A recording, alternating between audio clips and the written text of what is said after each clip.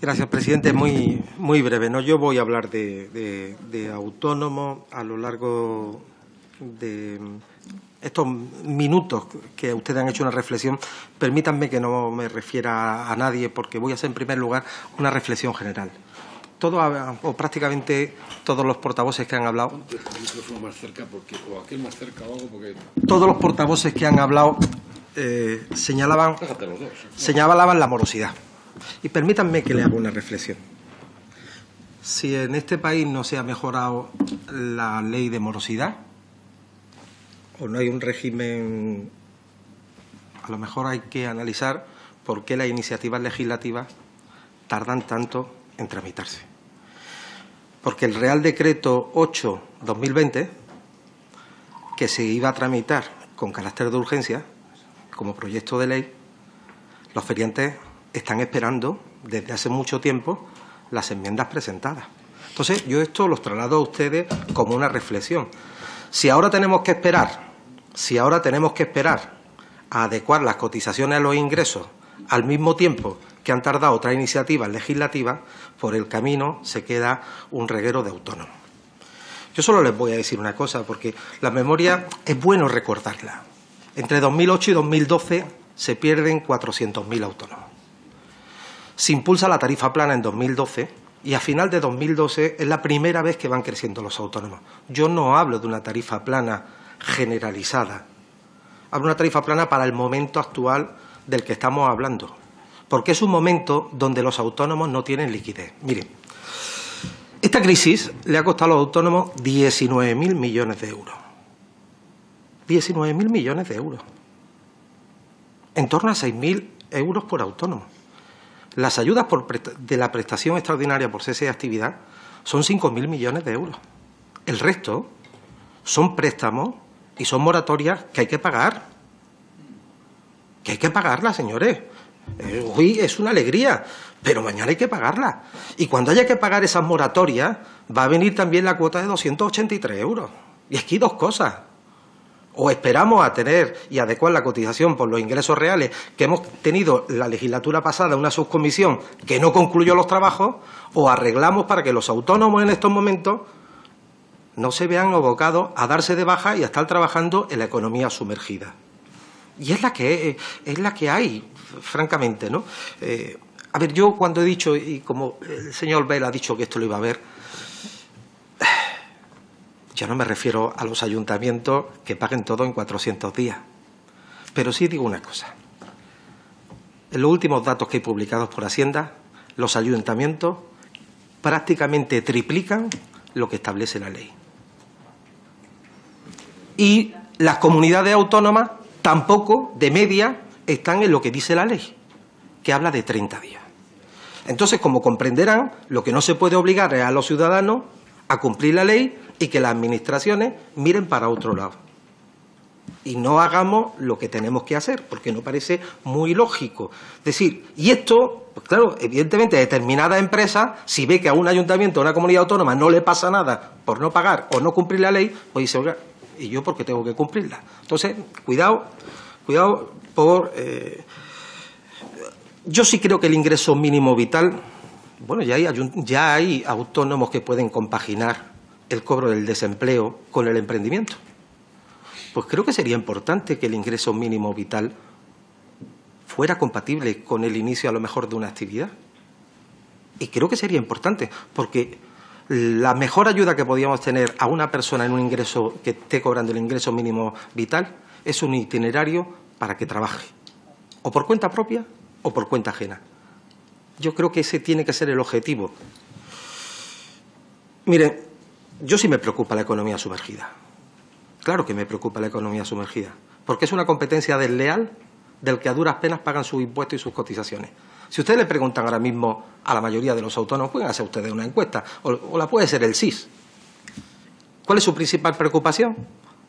Y no digo en estos momentos coyunturales.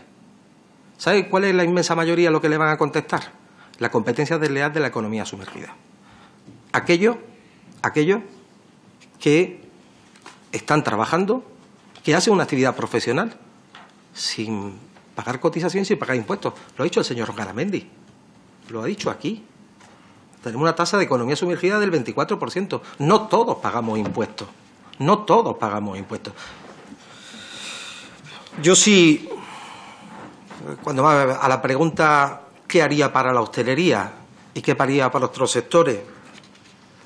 De momento, lo más necesario y urgente es prorrogar los ERTE, antes de que ese hostelero se vea obligado a cerrar o se vea obligado a tener que despedir porque no pueda pagar esas nóminas. Ahora bien, insisto en lo que he dicho antes. Los ERTES, los ERTES, cuando se quieren focalizar en un sector, nos puede pasar lo que nos ha pasado, por ejemplo, con las lavanderías, que han sido consideradas actividades esenciales. Bien, pues sepan ustedes que hay pequeños autónomos que tienen una lavandería que trabajan para dos hoteles o tres hoteles. Pero como era una actividad esencial, se le ha denegado el ERTE por fuerza mayor. Y ahora mismo no pueden aguantarlo. El, problema de los SENAE, como se ha dicho aquí, el problema de los SENAE es que hay muchísimos SENAE, hay muchas actividades. ¿Saben ustedes lo que nos va a pasar con la floristería? La floristería en su SENAE tiene también venta de animales, de comida de animales. Y la venta de comida de animales era una actividad esencial. Le estaban denegando la prestación por cese de actividad, porque no estaba contemplado, era de los SENAES que no estaban contemplados como una causa de cierre de fuerza mayor. Y estaban todas las floristerías cerradas.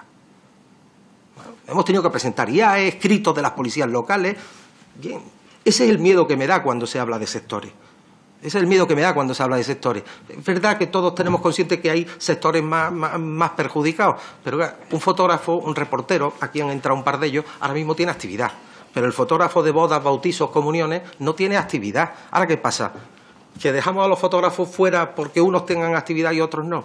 No, tenemos que vincular eh, esa pérdida, esa pérdida de actividad. Hombre, yo, para mí, esta crisis se ha presentado para todos sin manual de instrucciones. Para todos. Y nosotros los primeros. Ahora bien, yo tengo que decir que las medidas que se han adoptado,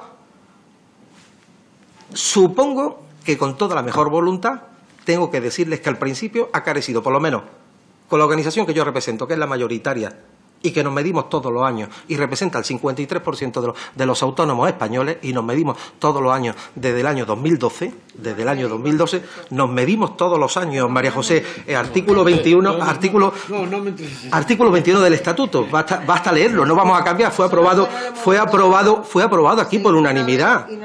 Fue aprobado aquí, pero fue aprobado aquí por unanimidad. Yo no voy a decir los representantes del pueblo, oye, si yo, eh, mientras que las leyes estén como estén, que hay que cambiarlas, pues eh, inicien ustedes el modelo para cambiarlas. Pero ahora mismo la representatividad de las organizaciones se mide por el artículo 21 del Estatuto del Trabajo Autónomo. No, un momento. Pero a partir de ahí. Un momento, un momento. Dejemos esa controversia y avancemos. Esté tranquilo que no voy, a, no voy a entrar en. Eh, no voy a entrar en ese tema porque nosotros, desde luego, lo que vamos a hacer es respetar siempre la legislación vigente que salga de estas cámaras legislativas y la ley establece lo que establece. Bien, pues nosotros eh, también nos hemos equivocado. También nos hemos equivocado. Y también hemos visto que esta crisis, en muchas, en muchas ocasiones, hemos tenido que tomar decisiones, pues a lo mejor, que no han sido las adecuadas. Ahora bien, lo que sí echamos de menos es al inicio de todo la falta de diálogo. Luego la ha habido. Luego ha habido correcciones. Se ha mejorado. Ahora, también digo una cosa. Desde el mes de abril, desde el mes de abril, y estamos ya en junio, que se han suspendido todas las ferias de España, desde el mes de abril no se ha podido solucionar la vida a esas 200.000 familias que son feriantes y que ya no están en la caravana de feria en feria. Es lo que digo, ¿no? O sea, a veces los trámites parlamentarios, querido presidente, son muy lentos. Y en este país, si la morosidad no se ha arreglado, si la morosidad no se ha arreglado, es porque ustedes no han puesto de acuerdo cuando aquí se había presentado una ley de morosidad. Y es así. Y, si no se ha arreglado la solución de los feriantes o otras cosas del Real Decreto 8-2020, es porque todavía está en trámite de enmienda, aunque se va a tramitar por vía de urgencia. Esta reflexión la digo porque no solamente lo pienso yo, creo que lo piensan muchos ciudadanos y todos estamos para enriquecer las cosas, ¿no? Oye, y concluyo, ¿no? La confianza es fundamental.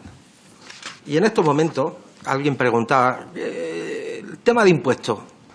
Pues mire, yo coincido con lo que ha dicho el presidente CEO aquí en estos momentos. Yo creo que ahora toca, ahora toca unas cosas y ya llegará el momento de otras. Pero hay que construir el país y hay que construir la economía. Quizás haya comentar en estos momentos la deuda y el gasto. No creo que sea momento de subir impuestos. Sí creo que hay que tomar medidas fiscales cuando llegue su momento para recuperar la economía.